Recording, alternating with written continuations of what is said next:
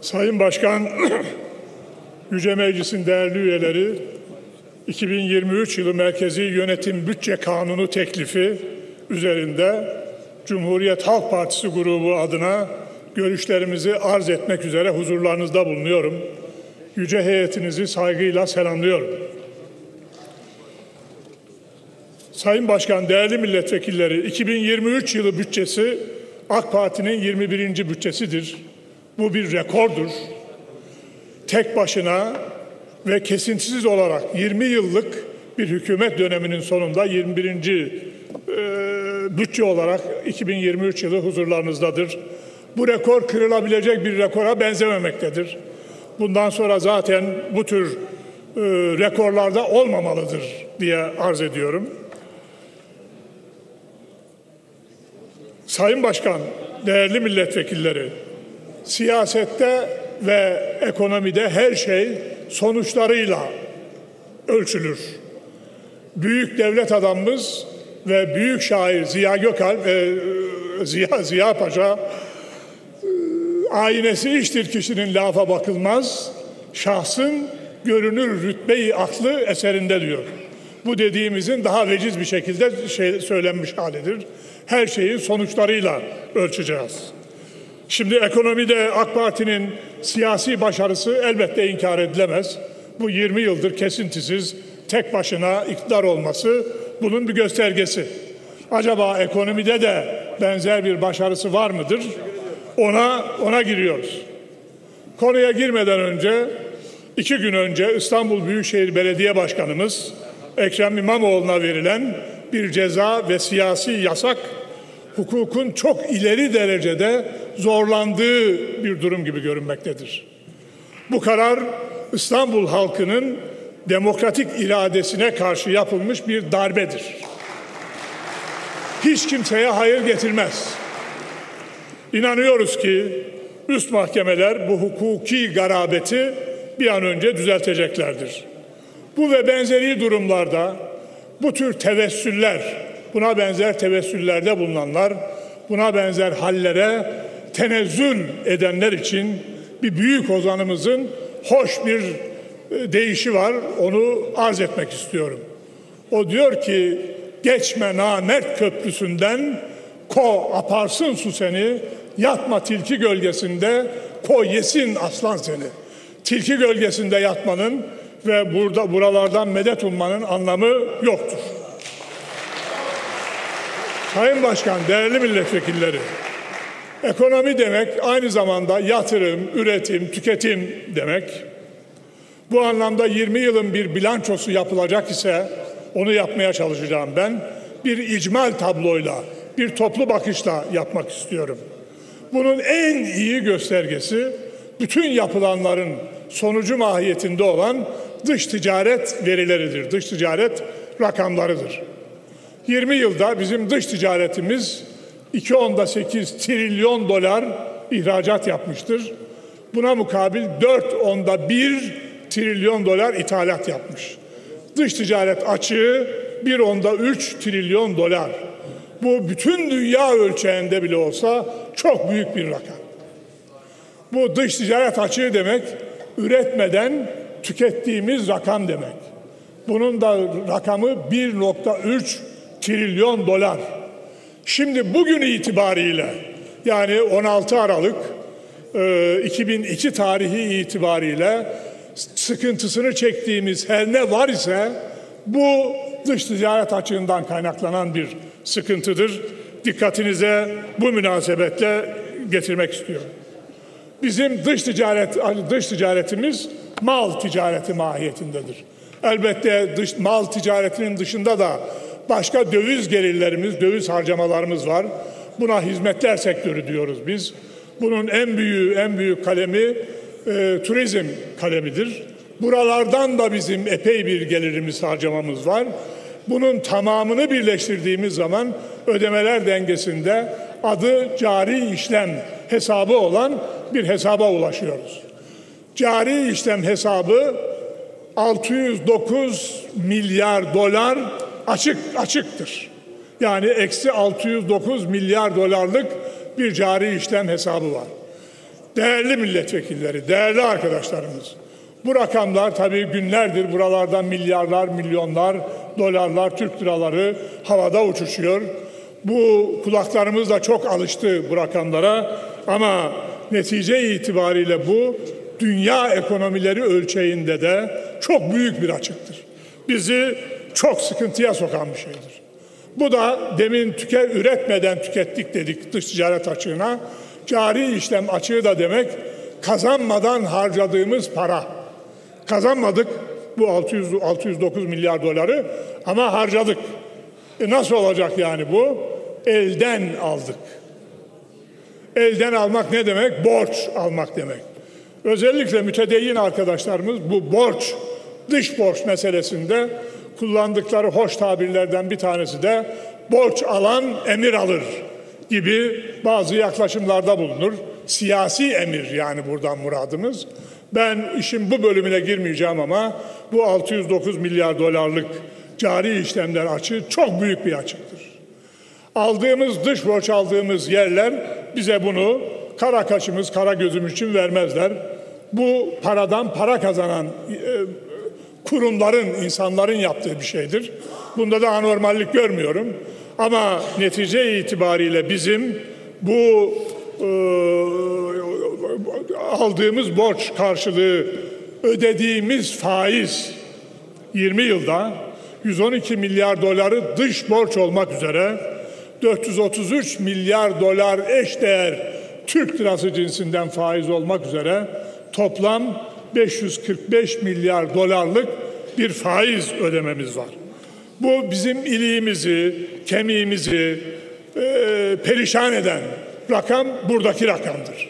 Bu faiz, faiz rakamlarıdır. 545 milyar dolar eş değeri faiz. Şimdi buna ilaveten geçen e, iki gün önceki oturumda e, Özgür Bey'in görev yaptığı e, oturumda özelleştirme ile ilgili hoş bir benim de çok takdirle takip ettiğim, gıptayla da izlediğim bir görsel şölen oldu. Özelleştirilen tesisleri teker teker yazdılar. Rulo halinde bu büyük salonun bir ucundan bir ucuna kadar bir ucundan bir ucuna kadar getirdiler. Şimdi bunun bunun değerli arkadaşlar bunun rakamı 77 milyar dolar. Az mı çok mu? Çok elbette ama bir kıyasla bakmakta fayda görüyorum ben. AK Parti iktidarındaki e, bakanlarımız, sayın başbakanlarımız, sayın cumhurbaşkanlarımız hepsi birden ziyade yani efendim çeşitli münasebetlerle ve sık tekrarlanarak AK Parti'nin yaptığı projeleri dikkatimize getirirler. Bunların bir kısmı bana göre feasible olmayan projelerdir. Bilmiyoruz, fizibiliteleri yoktur. Bir kısmı normalden daha pahalıymış gibi yapılmış projeler gibi gelir bana. Bir kısmını feasible görüyorum. Fizibilitelerini bilmemekle birlikte feasible gibi görüyorum. Daha da çoğu ulaştırma, ulaştırma projeleridir. 10 sene ulaştırma müsteşarlığı yapmış olan benim de hemşerim, güzel kardeşim. Şimdi bunlardan bir tanesi İstanbul'da yapılan üçüncü köprüdür. Yavuz Sultan Selim Köprüsü. Bunun rakamı 818 milyon dolar. İyi. Yani 1 milyar doların biraz altında. Şimdi bu özelleştirmeyi bölersek bu rakama 77 milyar doları ortaya çıkan rakam 94. Bu ne demek? Bizim rulolara arkadaşlarımız uzattığı gibi eğer uzatma imkanımız olsa bu salona tam özelleştirmeden elde edilen parayla 94 tane 94 adet Yavuz Sultan Selim Köprüsü yapılırdı. Bu mutlaka olmaması gereken bir şeydir. Faize alırsak 545 milyar dolar eşdeğeri faiz ödemesini alırsak yine bu üçüncü köprüye Yavuz Sultan Selim Köprüsü'ne bölersek ortaya çıkan rakam daha da manidardır. 666 adet yani faize ödediğimiz para 666 adet Yavuz Sultan Selim Köprüsü yapıyor. Ya biz bu köprüleri üst üste koysak Allahu alem aya kadar köprüyle gitmiş oluruz öyle değil mi? Şimdi benim bunları söylemekten muradım bu, bu rakamlara dünyanın hiçbir ekonomisi dayanamaz. Bizim ekonomimizde dayanamıyor. Dayanamadı. Şimdi zaten oraya gelmiş olacağız Allah kısmet ederse.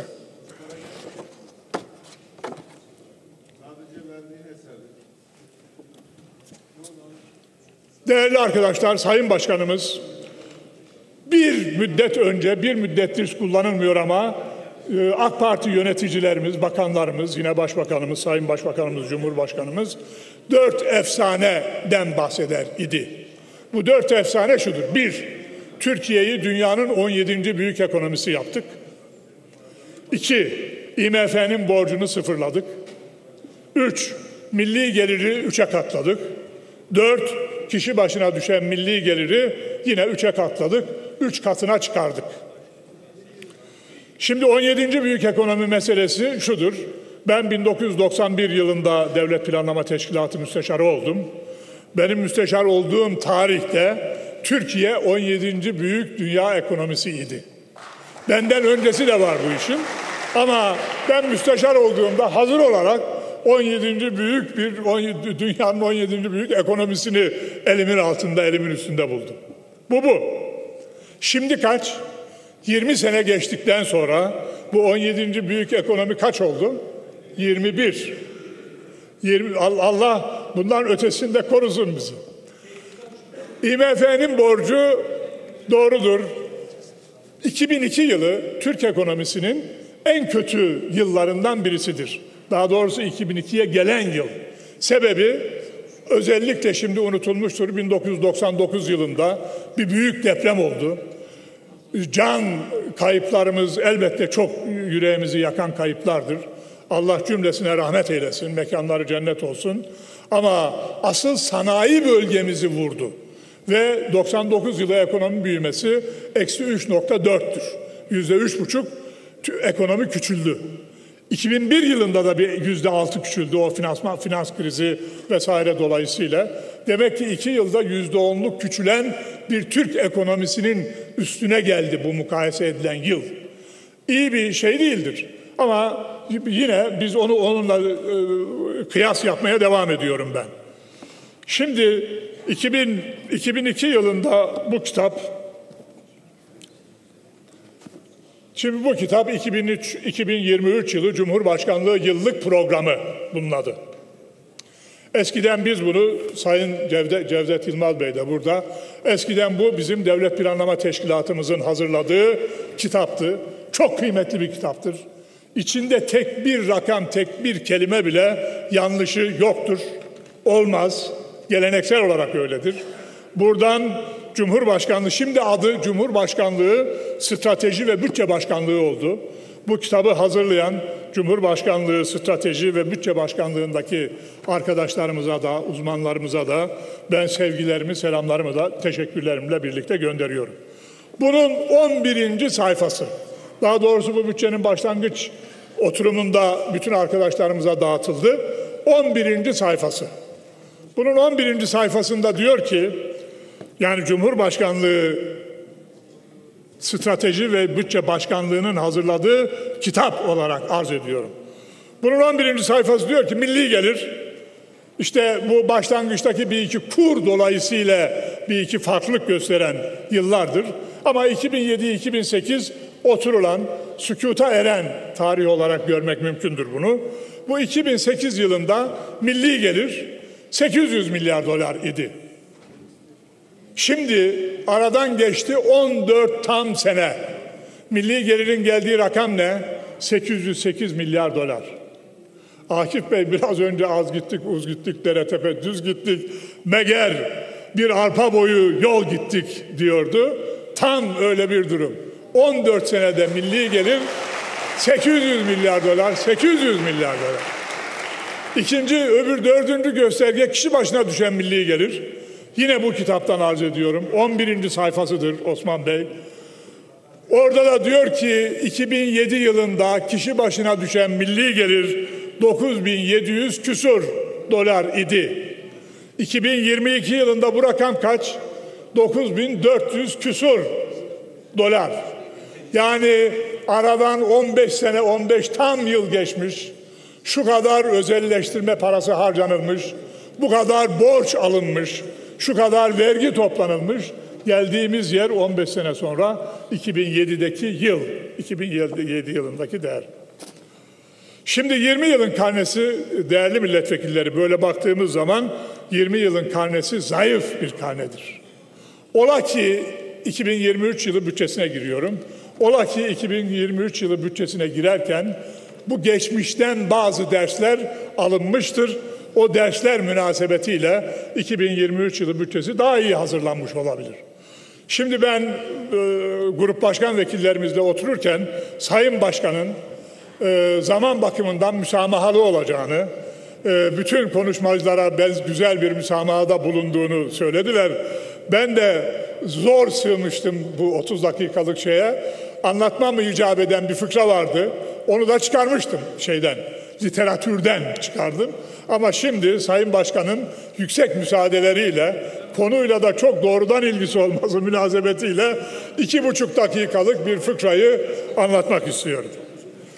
Şimdi bir film, sinema, Temel'le, Dursun'la Temel film seyrediyorlar. Bir aksiyon filmi, hareketli bir film. İşte birbirini kovalıyor arabalar, çok büyük süratlerle gidiyorlar, dar virajlara giriyorlar. Tam en heyecanlı yerinde Dursun Temel'e fısıldadı. Dedi ki Temel, gel seninle bir bahse girelim. E olur girelim. Ne bahsine gireceğiz? Bu araba bu uçurumu yanda dar virajların arkasında uçurum var. Uçuruma düşer mi? Virajı alır mı? Ben ben diyorum ki dedi almaz uçuruma düşer. E tamam temelde dedi ki hayır ben de diyorum ki virajı alır uçuruma düşmeden gider. Neyse zaman geçti virajı alamadı uçuruma düştü. Bahis ne? Yemek. Ne yemeği yiyecekler? Ee, hamsigiller. Hamsinin pilavından, hamsili pilavdan hamsili baklavaya kadar veya hamsi baklavasına kadar ki bütün bir spektrum hamsi yemeği. Tamam. Sonra film bitti, yemeğe gittiler. Şey yemeğe bir güzel afiyetle yediler. Dursun dedi ki, ya Temel benim bir vicdan azabım var. Hayırdır? Ben bu filmi daha önce görmüştüm. Orada, araba uçuruma düşüyordu. Kusura bakma yani ben bunu biliyordum. Şimdi vicdan azabı çekiyorum. Müsaade edersen bir yemekte daha sonra ben sana ikram edeyim. Temel dedi ki olur. Fakat dedi ben de sana bir itirafta bulunayım. Ben de bu filmi görmüştüm. E nasılsa o zaman yani düşmemiş miydi senin gördüğün filmde? Hayır düşmüştü. E peki niye girdin iddiaya? Ya belki akıllanmıştır. Bundan bir ders çıkarmıştır. 2023 yılı bütçesini de bu aldığı çıkardığı dersle hazırlamıştır. Şimdi Sayın Başkan, değerli milletvekilleri 1980 tarım sektörüyle ilgili kısa bir arzda bulunmak istiyorum. 1980 yılına kadar biz tarım sektörüne çok iyi devlet destekleri verdik. Çok akıllı destekler, uygun destekler verdik ve 1980 itibariyle meşhur söz haline geldi ki biz dünyada kendi kendine yeten yedi ülkeden birisiyiz. Meşhur bir söz haline geldi. Esasdan da öyleydi. Daha sonra 1980 askeri darbesi ve onu takip eden hükümetlerin bir bölümünde bu tarım severlik azaldı. Çiftçiyi, köylüyü sevmeyen veya az seven hükümetler gelir gibi oldu. Çiftçi sonunda toprağına küstü, besici hayvanına küstü. Halbuki besicinin canı hayvanıdır, çiftçinin canı tarlasıdır. Bunlar tarlasına ve hayvanına küser oldular. Şimdi AK Parti bakımından yiğidin hakkını bir yiğide vermek istiyorum ben. 2006 yılına gelindi. AK Parti yöneticileri baktılar ki tarım sektörü ihmal edilmiş bir sektördür. Buna tarımsal destek vermek lazımdır. Hükümetlerin keyfine de bırakmamak daha doğrudur. O yüzden bunun için bir kanun çıkaralım dediler. 2006 yılında tarım destekleme kanunu çıkarıldı. Bu iyi bir kanun. Bu kanuna göre her yıl milli gelirin yüzde birinden az olmamak üzere tarıma destek verilecek. Biz bu hesap kolaylığı bakımından yüzde bire eşitleyelim bu işi. Tamam. Şimdi bunu layıkı veçiyle çıkardıkları kanuna göre uyguladılar mı? Yok. Uygulamadılar. Az uyguladılar, çok uyguladılar. Geldik bugünkü şeye, 2023 yılı bütçesine. 2023 yılı bütçesine bakalım. Tarım destekleme bütçesinden ayrılan pay 54 milyar Türk lirası. Tamam. Milli gelirin yüzde biri olmuş olsaydı kaç olacaktı? 186 milyar Türk lirası. Yani kendi çıkardığı kanuna göre AK Partisi yönetimi 186 milyar Türk lirası tarım destek bütçesi hazırlamış olmak olmaları icap ederken bunun ancak üçte birini hazırlamışlar. 54 milyar. Bu olmaz. Bu netice itibariyle kendi çiftçinizden esirgerseniz sonunda ne olur? Şimdi benim kollarıma göre bakalım. Sağ tarafım dünyanın düz baktığımız halde harita halinde olsun. Avustralya olsun. Dünyanın bir ucu. Bu tarafa baktığımız zaman da dünyanın öbür ucu Amerika olsun. Kuzey Amerika, Güney Amerika. Türkiye bu cennet vatan. Elinde Muş ovaları var. Elinde Batman ovaları var. Amik Ovası var. Çukurova var. Denizli Bak Ahmet Bey neredesin? Denizli Baklan ovaları var. Aydın ovaları var. Menderes ovaları var. Ama bu dünyanın en ucundaki ülkelerden tarım, yaş meyve sebze dahil olmak üzere tarım ürünleri ithal ediyoruz. Bu olmaz. Bu vicdana sığmaz. Şimdi diyelim ki ettiniz. Ya neyle bir neyle ne diyorsunuz? Boşna. Bulgaristan'dan saman ithal ettik. İki sene önce buradaki Tarım Bakanımıza bizim arkadaşlarımız hem plan, plan bütçe komisyonunda hem genel kuruldaki bütçe Tarım Bakanlığı bütçesi konuşulurken itiraz ettiler. Bulgaristan'dan saman ithal ediyoruz. Bu yakışık alır mı dediler. Sonra sıkıştı sıkıştı kilosu önemli değil. 125 milyon dolar. Anladın mı? 125 milyon dolar. O soruyu her kim sorduysa ona söylüyorum. O 125 milyon dolarlar birikince işte 444 milyar dolarlık bir borca ulaşıyor. Şimdi Sayın Bakan'a sordular. İşte sıkıştırdılar. Sayın Bakan dedi ki ya dövizimiz varmış ithal ediyormuşuz. Ne var bunda dedi. Halbuki döviziniz yoktur. Onu ithal edecek döviziniz de olmadı. Çiftçinizden, kendi çiftçinizden esirgediğiniz tarım desteğini esirgerseniz Avrupa Birliği dünyanın tarım sektörüne en yüksek desteği veren ülkeler topluluğudur. Ortak tarım politikası var. En yüksek desteği verirler. Onların çiftçilerine verdiği desteklerin karşılığında biz kendi çiftçimize destek vermez isek Bulgaristan'dan saman ithal ederiz. Yunanistan'dan pamuk ithal ederiz. Avustralya'dan canlı et ithal ederiz. Arjantin'den beyaz et ithal ederiz. Bütün bunları da toplarsınız sonra getirir 545 milyar dolar karşılığı faiz edersiniz. Buna, buna can dayanmaz. Şimdi bu aynı zamanda yazıktır, günahtır yani filan. Değerli milletvekilleri, 21. yüzyıl e, bütün dünya için acımasız bir rekabetin yaşanacağı yüzyıldır ekonomik bakımdan. Ekonomide diğer alanlarda var filbaki, kültür, sanat, edebiyat her neyse. Ama beni daha çok bu işin ekonomik bölümü ilgilendiriyor. Devletlerin birinci görevi, güvenlik bölümünün dışında hariç olmak üzere birinci görevi ülkelerini bütünüyle global uluslararası rekabete hazırlamaktır. Tekrar ediyorum, uluslararası global rekabete hazırlamak. Eğer bu rekabete hazırlayamazsanız ülkemizi hazırlayamaz isek çok geride kalırız. Çok hızlı geriye doğru gideriz. Bunun bir numaralı unsuru insan sermayesidir. Beşeri sermaye. Yani dünyaya bizi uluslararası rekabette temsil edecek, bizim sırtımızı yere, yerine, yere getirmeyecek, daha ileri gitmemizi mümkün kılabilecek olan en önemli sermaye para değildir, pul değildir. Onların da elbette bir önemi var ama insan sermayesidir. Şimdi bu insan sermayesi demek eğitim demek. 21. yüzyılın öbür bir milliyetçilik anlayışı da ekonomik milliyetçiliktir. Ekonomik vatanseverlik diye yeni kavramlar da icat ediyorlar.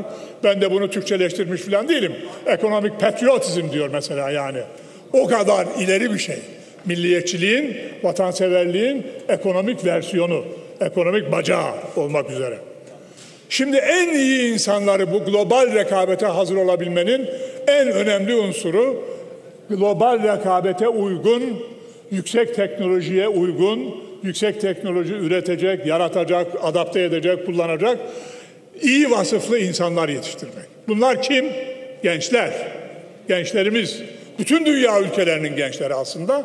Bizim için de bizim gençlerimiz. Hepsi gözümüzün nuru. Gençlerin önünde 70 aktif yıl daha Türkiye'yi taşıyacak, ileriye götürecek bir zamanları var, bir süreleri var. Çok önemli. O yüzden ne kadar iyi yetiştirirsek önümüzdeki 70 yılda o kadar nemasını alacağız biz bu işin. Tamam. Bu bütçe kitabı gençlerin iyi yetişmesiyle ilgili bir rakam koymuş. Milli Eğitim Bakanlığı'nın bütçesi ve üniversitelerin bütçesi ikisi toplam 571 ha Sayın Milletvekili Milli Eğitim Bakanımız da var Aziz Hemşerim. İkisinin toplam rakamı 571 milyar Türk lirası. Bu Milli Eğitim Bakanlığı ne demek? 20 milyon öğrenci, 1 milyondan fazla öğretmen. Üniversiteler ne demek? Aşağı yukarı 3 milyon üniversitelerde okuyan öğrencimiz var. Yaygın eğitimle ilgili üniversite tezisatı gören arkadaşlarımız var. 200 bin civarında da öğretim üyemiz var, öğretim elemanımız var. Bu 25 milyon öğrenci ve 1 milyondan fazla öğretmen ne ayırdığımız para 571 milyar Türk lirası. Deminki söylediğimiz sadece 2023 bütçesinde ki faiz rakamı 566 milyar Türk lirası. Yani şimdi buradan Türkiye'nin dünyaya uygun, dünyadaki emsallerini geçebilecek tarzda öğrenci yetiştirmesi mümkün olabilir mi? Katiyen olamaz. O yüzden biz şimdi böyle bir durumda ne yapmak icap eder diye bakılırsa bana göre neyimiz var neyimiz yoksa ya bu deminki özelleştirme rakamı Özgür Bey'e görünce aklıma şimdi artık özelleştirme geliyor. Yani demek ki özelleştirme rakamı kaçtı? 577 milyar dolar. Üniversitelere ve bütün milli eğitime verdiğimiz e, şey ne kadardı? E, rakam ne kadardı? 571 milyar Türk lirası. Bunu birbirine e, uyumlu hale getirip bölelim. 130 senelik yani o 77 milyar dolar var ya sattığınız sizden önce sizden önceki hükümetlerin yaptığı milli servet mahiyetindeki iktisadi kıymetlerimiz eğer bu milli eğitim bütçesi gibi bir bütçe yapsanız 130 senelik milli eğitim bütçesini ve üniversite bütçesini karşılamış oluyordu. O yüzden bunun önemi bir, bir daha bana da laf atarken arkadaşlarımızın daha dikkatli olmalarında fayda görüyorum. Şimdi şimdi değerli değerli milletvekilleri Buradan buradan bir enflasyon çeşitli e, varyasyonlar da alıyor. Enflasyon hayat pahalılığına kısaca bir girmek girmek ve daha sonra da Sayın Başkan'ın şeyini istismar etmeden e, çıkmak istiyorum. Bu enflasyon kötü bir şey. Bütün kötülüklerin anası.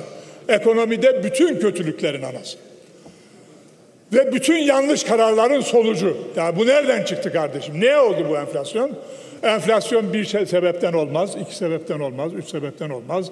Ekonomik hayatta yapılan bütün yanlışların sonucu olarak ortaya çıkar ve bütün kötülüklerin de, iktisadi kötülüklerin de anası olmuş olur. Şimdi bu e, devleti tahrip eden bir şeydir. Gelir dağılımını en çok bozan, en hızlı ve en çok bozan işlerden birisidir. Alacaklı alacağını alamaz, borçlu borcunu ödeyemez, Ticari ise bizde ticaret çekle yapılır, peşin parayla yapılır, senetle yapılır. Bir de sözle yapılır. Dünyadan farklı olmak üzere. Bizdeki neredeyse söz ticareti, sözle yapılan ticaret öbür ticaretlerden daha da büyüktür. Enflasyonist ortamlar sözü ayağa düşürür. Borçlu borcunu ödeyemez, alacaklı alacağını ödeyemez. Ticaret hayatı da olduğu gibi şey yapar. İki, Türkiye'nin işçileri, memurları, emeklileri az gelirleri, dar gelirleri, sabit gelirleri enflasyonist ortamda normalden çok fazla ve normalden çok hızlı ezilirler. O yüzden bu Sayın Maliye Bakanımızın seviyorum, sevgili ve samimi bir Maliye Bakanı olarak görüyorum. Bu epistemoloji vesaire gibi terminolojilerle filan meseleye yaklaşmak yerine çok daha ciddi bir şekilde bu enflasyonun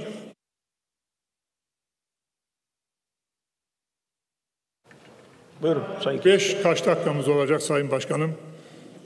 Bir, be, beş varsa oradan ona göre gidelim. Evet.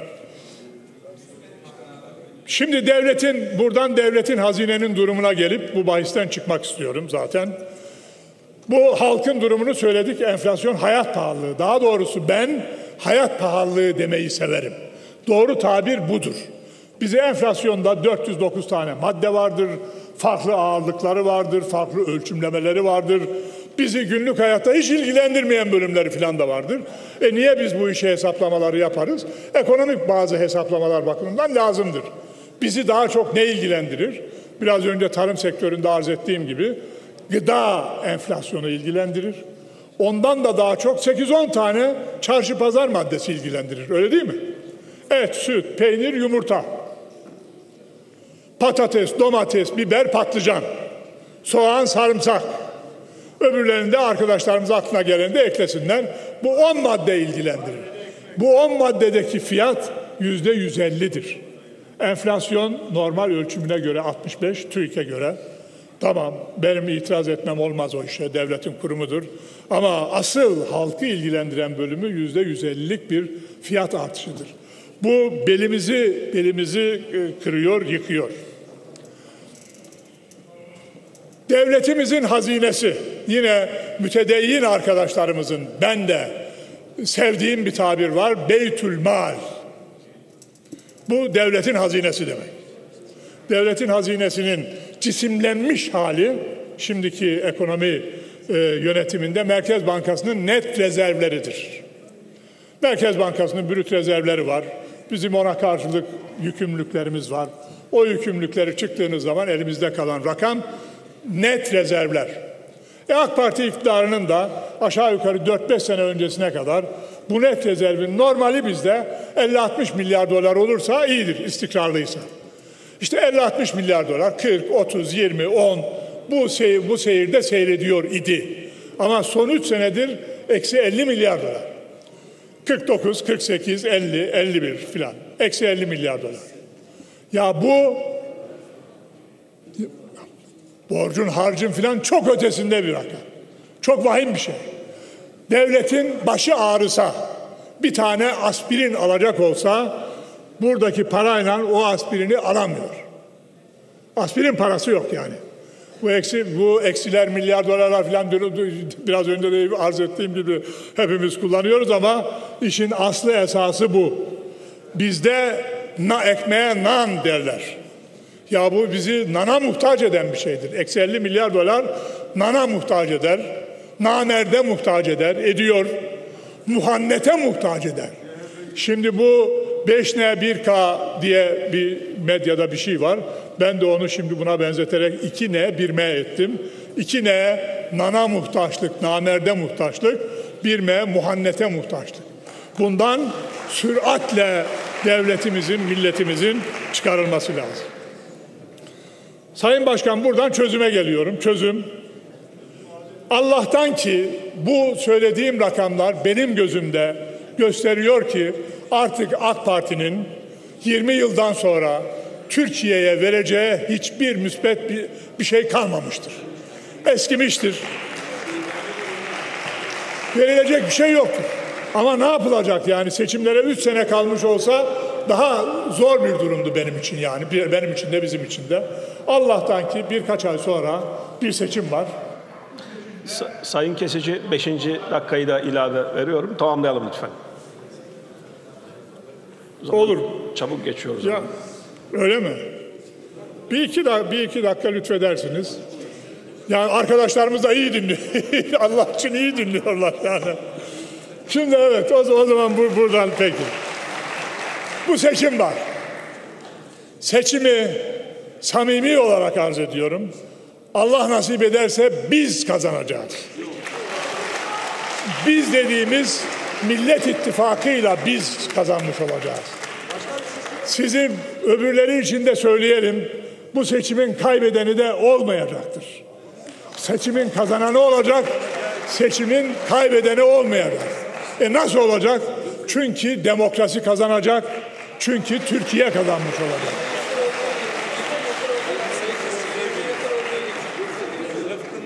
Şimdi